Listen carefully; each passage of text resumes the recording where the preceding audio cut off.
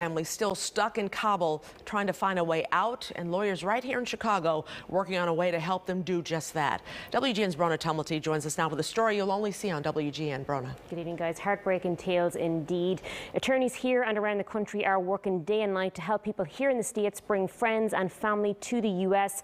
Normally, to sponsor someone and bring them over here, you need to be a relative, but these are special circumstances, and because of that, one Chicagoan is stepping up and trying to save the lives of three families families.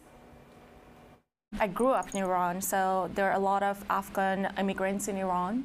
Pegah Posselar got a call from her cousin earlier this month about three brothers and their families who needed help getting out of Afghanistan. She called me um, and she told me, hey, um, this is happening. This is like uh, my best friend's family, and they've heard that if like uh, they know someone in the states, they can support them and like bring them over.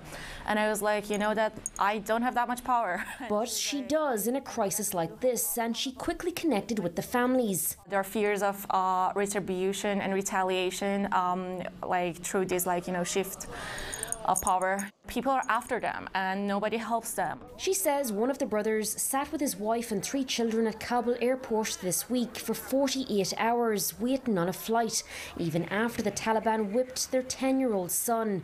They never even got close to a plane and are now stuck in a place where their neighbours with similar jobs and positions have already been murdered. Taliban like got into their neighborhood and went like to to the same person who was um, like holding the same position position as one of these guys, like working with the government, and they, they killed them in front of the like the entire family. And Terrified those she's come to love could face the same fate, she set the wheels in motion to bring them here. It is a moral obligation and Fiona McEntee is helping her do just that. And I've been working as an immigration lawyer for the past 14 years. They're working around the clock to get people out of harm's way. We're trying to file humanitarian parole cases, um, and the way that works is somebody needs a US based sponsor for that. While the legal work is being done for free, that paperwork comes with an almost $600 government filing fee. It's $575 per person. That's for every man, woman, and child trying to escape. The US has created this situation by just the absolute botched way that they tried to leave. We have a moral obligation to these people. These are human beings, these are people's lives. They both say the August 31st deadline should be extended. And even with every effort being made, plus constant calls and texts back and forth to Afghanistan, there are no guarantees any of this will end well. What happens if you try to call them and nobody answers the phone? I don't know, I'd be broke. Like, what would happen? What can I do? If if they do not respond to me, I'll probably have nightmares for for the rest of my life. But they're hoping the American people can put some pressure on those in power. People need to speak up. Call your congressmen, call your senators, call your aldermen.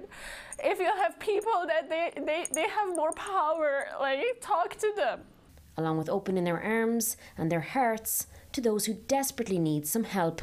This is life or death for people. And these people are human beings. They would make absolutely wonderful additions to US society.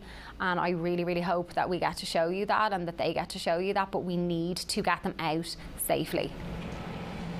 Now, if you want to contribute toward the cost of those government filing fees, we're told the best way to do that is through a non-profit named the Pars Equality Centre. We'll get the link for that up on our website under this story even under normal circumstances, that's hard to do. You went through it yourself. I went through yeah. it firsthand. Yeah, it's it's such a, a, long, lengthy, exhausting process.